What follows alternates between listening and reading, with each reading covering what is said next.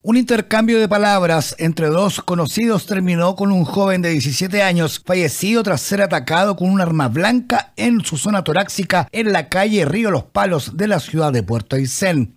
El victimario, otro joven de nacionalidad colombiana de 18 años, que tras ser formalizado por el delito de homicidio quedó con la medida cautelar de prisión preventiva.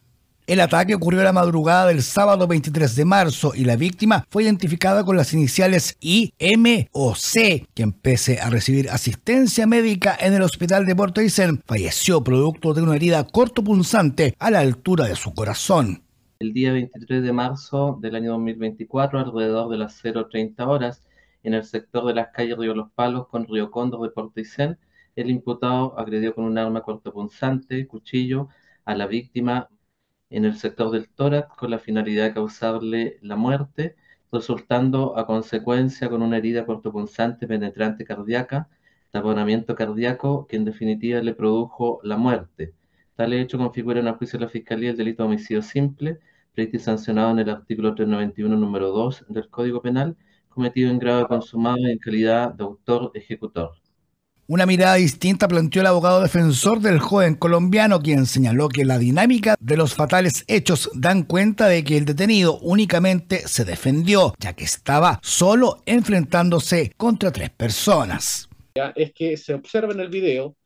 eh, la interpretación que le da la fiscalía es distinta a la que le da la defensa. El, mi representado va retrocediendo porque tiene a tres, a tres personas frente a él que lo vienen atacando. Hay uno que queda al lado del vehículo, quien está con el cuchillo frente a él, y detrás de él viene la víctima de la causa, quien fue también participó en la pelea anterior. Esta pelea no se inició en ese momento, se inició en un lugar distinto, más arriba, donde no se logra apreciar, que es donde estas tres personas habrían de, alguna manera provocado la pelea y habrían esperado para atacar en resultado.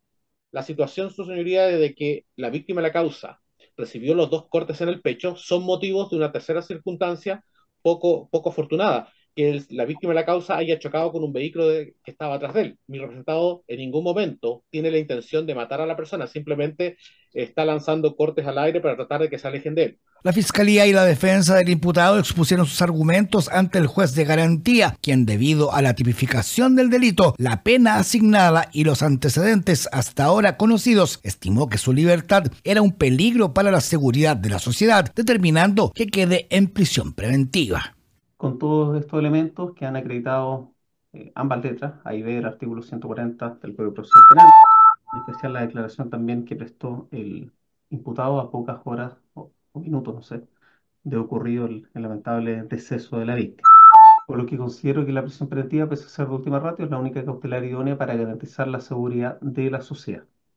Se accede entonces a la prisión preventiva solicitada. El plazo de investigación en atención a la cautelar solicitada y la declaración que prestó el imputado se establecen 60 días. Durante la misma audiencia, el magistrado Gres decretó un plazo de investigación de 60 días para esclarecer los hechos que terminaron con un joven de 17 años fallecido en la ciudad de Puerto Aysén.